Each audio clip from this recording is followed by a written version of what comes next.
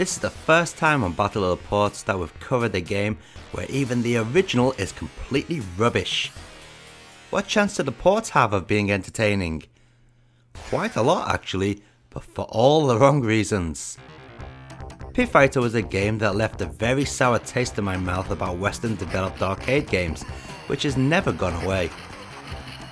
What we have here is an attempt at a realistic fighter, but what we end up with is a game that looks rubbish even when it was released, with poor controls and very questionable collision detection. Oh, and a fighter that looks like he's crapped in his pants.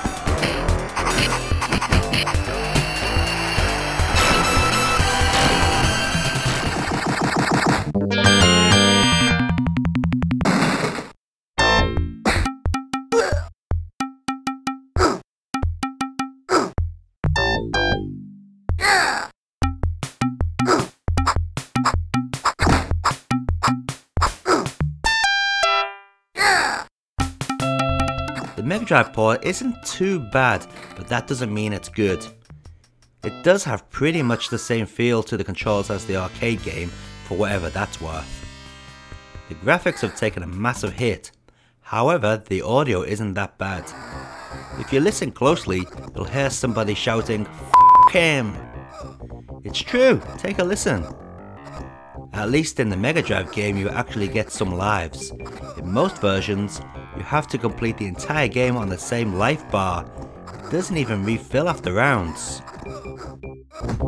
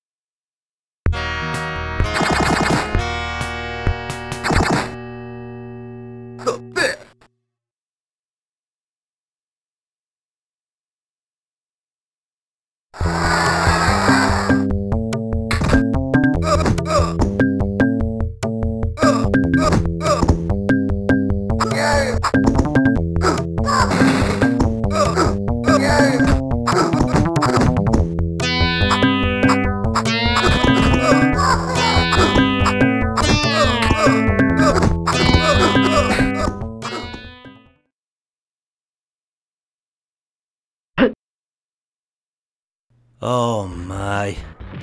The SNES version of this game is the worst of them all. The controls are really sloppy. So bad that they make the arcade seem like a master of gaming precision.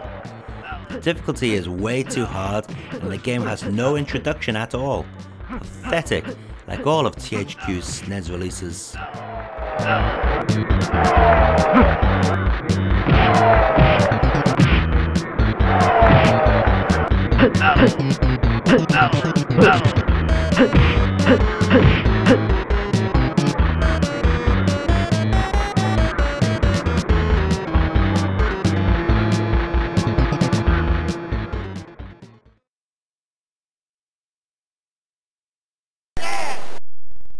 Based upon the SNES version and even worse to play. Think of the SNES game which was slow, but even slower. The funny thing is this version is actually a lot easier.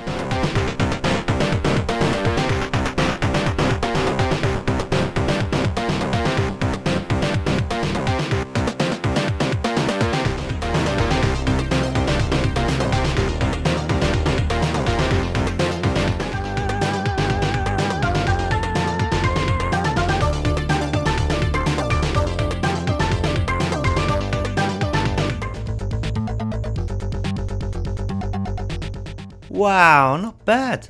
Not bad at all. The arcade intros are present and the game has all the graphical scrolling of the arcade game.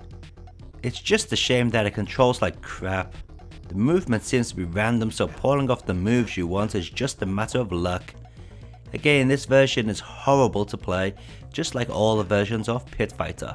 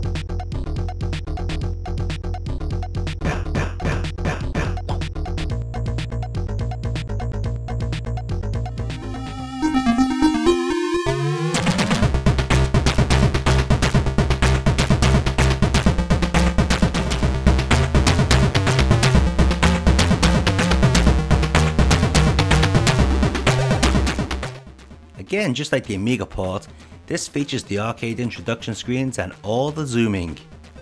That's where the plus points end I'm afraid. Graphically it's not as good as the Amiga, although it sure sounds better. Sadly the game is 100% unplayable, the controls are just broken. Many a time your character will be just standing there doing nothing.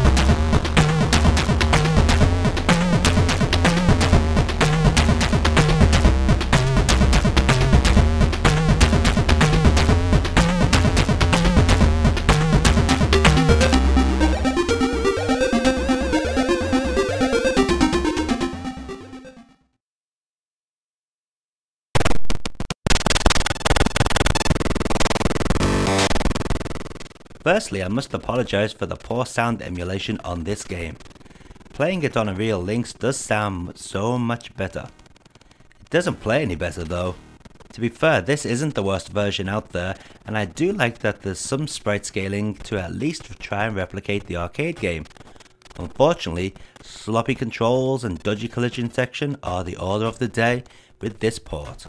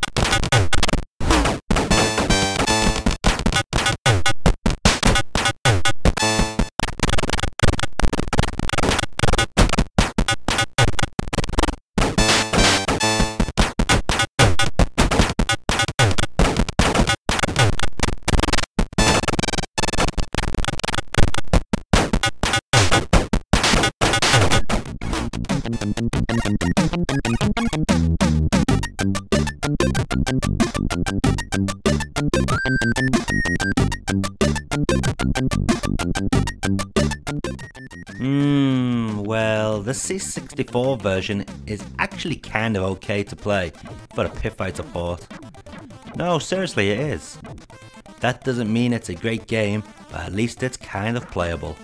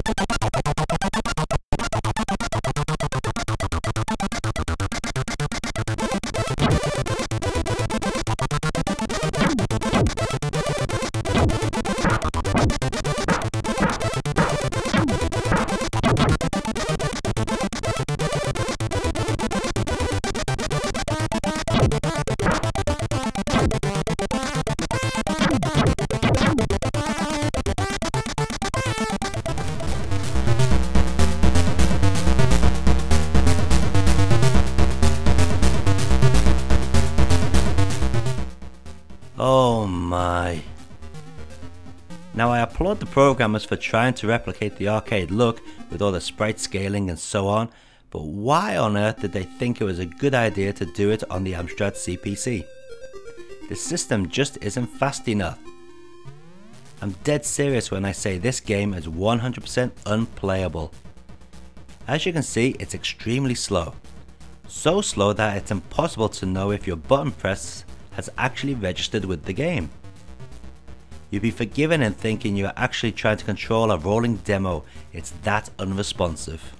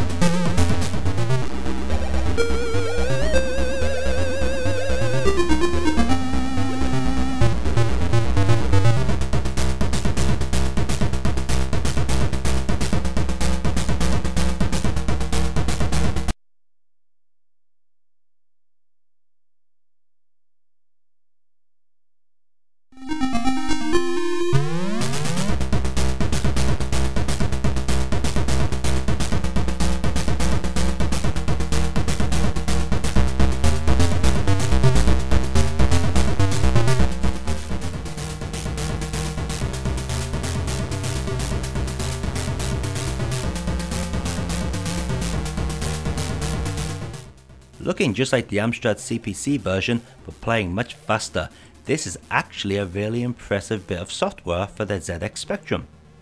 It's just a shame it plays like crap, like every version featured in this video. Same old issues that I've mentioned a million times, but at least it's technically pleasing, which is something positive.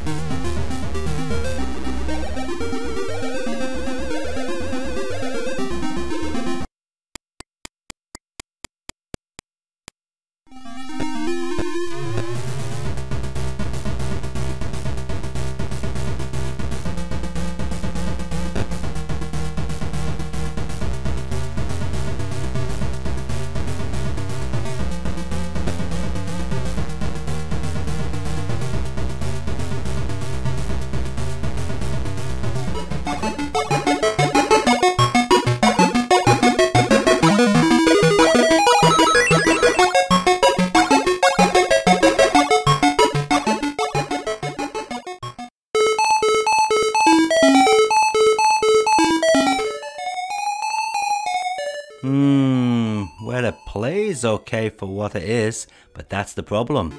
This isn't much to start off with.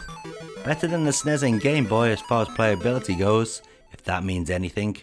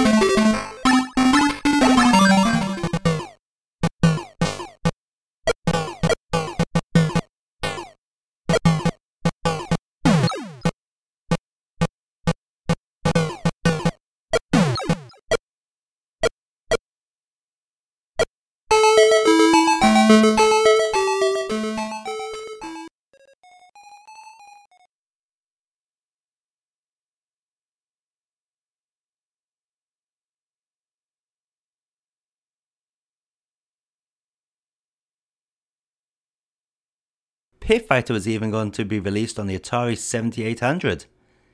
It never did though, and all that remains of the game is this basic beta version. Needless to say, it's awful in every respect.